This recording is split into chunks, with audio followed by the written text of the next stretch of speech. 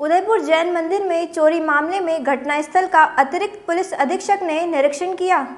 गंज पासोदा राजा आदित्य की नगरी में उदयपुर विगत एक माह से चर्चाओं में बनी हुई है।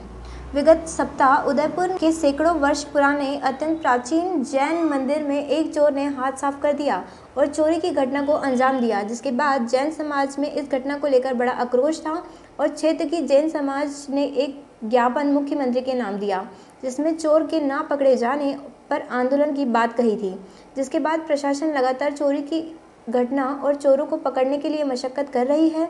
इसी तारतम्य में ज़िले के अतिरिक्त पुलिस अधीक्षक संजय साहू ने घटना स्थल उदयपुर जैन मंदिर का निरीक्षण किया। गंज बासुदा से मुकेश चतुर्वेदी की रिपोर्ट। आठ दिन पहले करीब जैन मंदिर में चोरी हुई थी, उसकी जाँच के लिए अभी क्या पाया?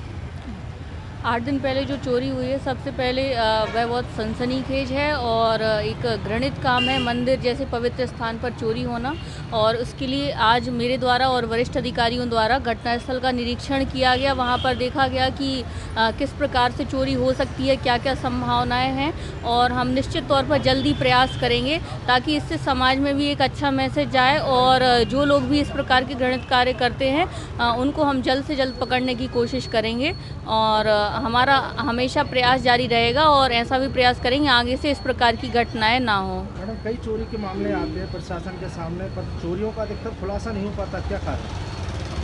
इसके कई सारे कारण होते हैं कि जो एक कभी कभी संगठित ग्रोह काम करता है कभी कभी वो किसी दूसरे स्टेट चले जाते हैं, तब वहाँ पर टीम भेजने में, वहाँ से फिर उनकी लोकेशन प्राप्त करने में कभी कभी ये इतने शातिर होते हैं कि फ़ोन भी नहीं रखते हैं। ऐसी स्थिति में जो एविडेंस है, वह नहीं मिल पाते हैं, लेकिन तब भी हम निरंतर प्रयास करते हैं और पुरानी चोरियाँ भी हैं, उनको भी निकालने की जल्द से जल्द कोशिश करेंगे। सर, आठ दिन पहले करीब उदयपुर के जैन मंदिर में चोरी हुई थी। अभी तक की जाँच में क्या पाया गया? दिनांक 19 और 20 तारीख की दरमियानी रात में उदयपुर में एक जैन मंदिर है। वहाँ पर ताला तोड़ करके और अंदर से एक चांदी का छत्र और एक श्रीयंत्र और उसके साथ में कुछ सामग्री और गई है चोरी। इसमें थाना गंज बसौदा देहात में चार सौ संतावन तीन सौ अस्सी के अंतर्गत प्रकरण पंजीबद्ध किया गया है। लगभग आठ दिन हो गए हैं इसमें और इसमें जो चोर हैं वो पर्टिकुलर ऐसा लगता है कि मंदिर चोरी में ही जो इन्वॉल्व कुछ प्रकार के चोर रहते हैं संभवतः उन्हीं के द्वारा ये चोरी की गई है। आज मैंने और एसडीपी साहब ने घटनास्थल का विज़िट किया है। अ, मंदिर जो है काफ़ी पुराना है और अबेंडेंट टाइप का है वहाँ काफ़ी ना तो सीसीटीवी कैमरे लगे हुए हैं और ना ही कोई रात में चौकीदार रहता है। सिर्फ़ दिन के समय एक पुजारी वहाँ पर रहता है। तो वहाँ पर जो जन समाज के लोग उपस्थित थे उनको बताया गया है कि वहाँ पर रात्रि में एक चौकीदार को रखा जाए।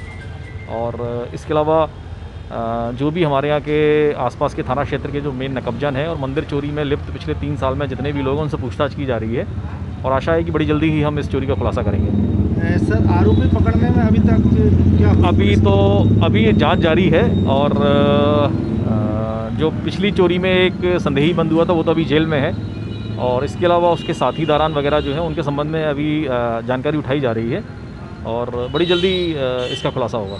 सर एक छोटा सवाल चावल का एक ट्रक पकड़ा गया था सर गंज वासोदा सिटी थाने सूत्रों की जानकारी के मुताबिक, सर। अभी तक के इसके पहले भी एक और ट्रक पकड़ा गया था, वो कंट्रोल के चावल थे। उस पर, सर, कोई भी कार्रवाई नहीं हुई इसमें हमारे द्वारा रिटर्न में एसडीएम गंज बसौदा को लेटर भेजा गया था। एसडीएम गंज बसौदा की तरफ़ से सहायक खाद्य अधिकारी भी आए हुए थे और उन्होंने इसको जाँच में लिया है कि ये वाकई में गेहूँ जो है पीडीएस का है चावल जो है पीडीएस का है अथवा नहीं है। इसकी जाँच एसडीएम साहब की टीम के द्वारा की जा रही है। जाँच रिपोर्ट आने के बाद इस पर कार्रवाई की जाएगी। सर सूत्रों की माने तो जो चालक था उसने स्वयं ने कबूला है कि ये चावल सरकारी और कंट्रोल का चावल है। आ, अभी इसमें एसडीएम साहब चूँकि खाद से रिलेटेड मैटर है और ये राजस्व विभाग और खाद्य विभाग का मामला रहता है तो आ, अभी उनको जाँच के लिए दिया है। वो जैसे ही हमको जाँच रिपोर्ट देंगे उसके बाद उसके अनुसार कार्रवाई की जाएगी। ठीक। आप देख रहे हैं हमारा channel S W twenty four news हमारे सारे वीडियो सबसे पहले देखने के लिए आप हमारे चैनल को सब्सक्राइब करें और पास में लगे बेल आइकन को दबाना बिल्कुल भी ना भूलें।